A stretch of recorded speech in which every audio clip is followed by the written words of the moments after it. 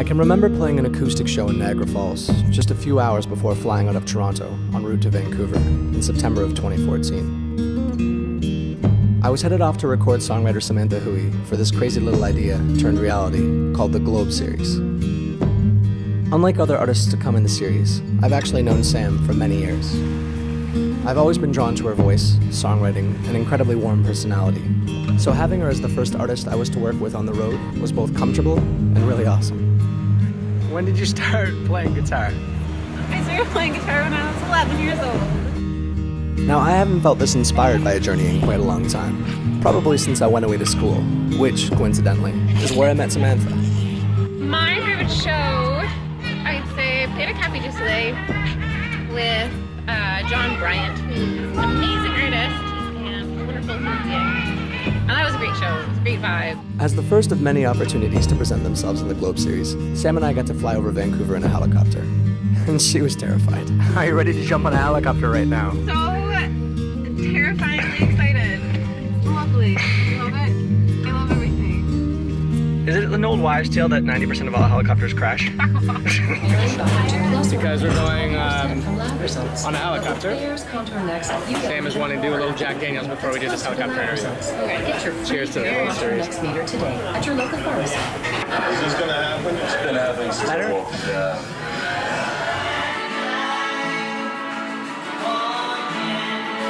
And I just actually need you to put a contact number too, just in case Aaron crashes. We know who to reach you at. Now, when I first met Sam at school, many in my program were captivated by her voice and songwriting. And this, in combination with her humility, kind heartedness, and quirkiness, contribute to why we're still so close today. Who's your favorite singer songwriter?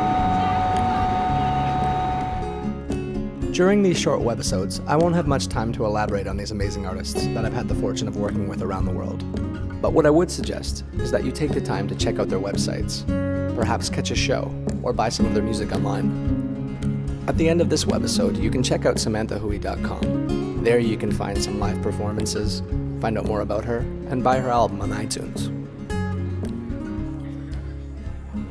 Hey Sam, what's the best part about helicopter rides? Not dying. Who was the first person you ever jammed with? First, well, it was a group of people. Um, I was in grade six. We had a band. It was called Jelly Bean. And we did Alanis Morissette and Green Day covers, and it was pretty rad. so when are you getting back together?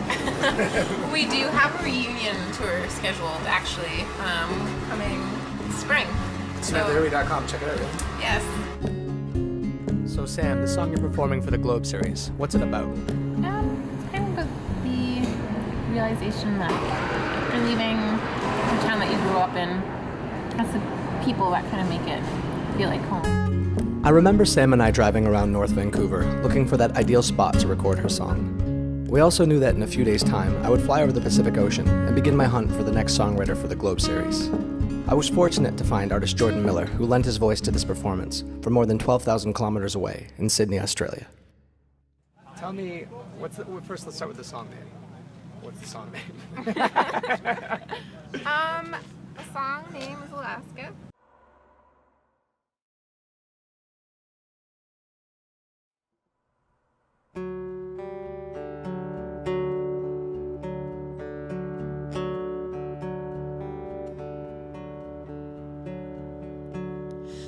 First week of September, we lay in your bed. We're barely touching aside from the thoughts in our heads. I'm trying to take in all the words that you've said.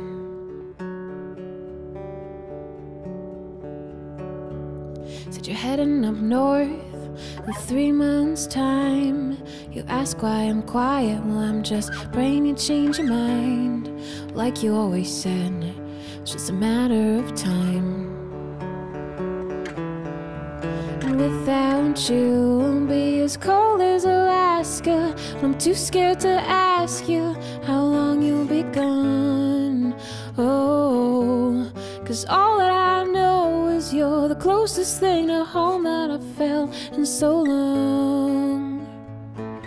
But every summer sees its autumn, so every winter is bound to thaw. You say that you're sorry and that maybe this should stop. You've always been worried about how well you'd spare my heart, but I'm knowing all the dangers I have from the start.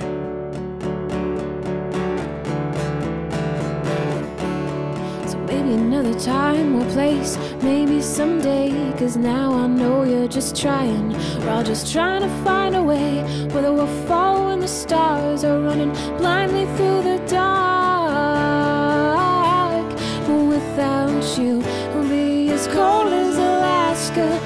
Too scared to ask you how long you'll be gone. Oh, cause all that I know is you're the closest thing to home that I felt in so long. In so long. Oh, and you know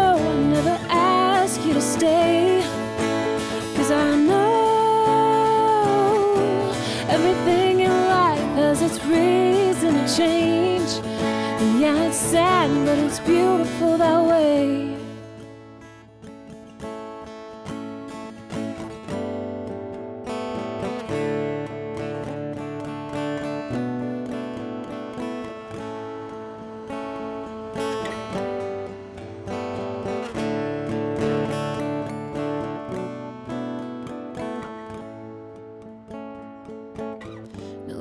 As cold as Alaska, and I'm too scared to ask you how long you'll be gone.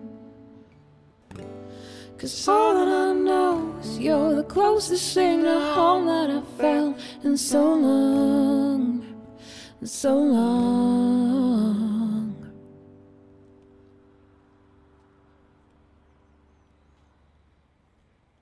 Think it's okay with the car noises? I think it's okay, Sam. That's fine. Because I, No, that's fine. Don't worry about it. You can do it again. No, it's fine. Actually, Yeah. keep it. Yeah? cause I, I felt the most comfortable with that. I thought that was a great one. It's fine. Don't worry about it. That's great. Just so I don't get too nostalgic, this is what Vancouver actually looks like. Yes, film raining. It's raining in a parking lot. That's Yeah, this is all you are, Vancouver.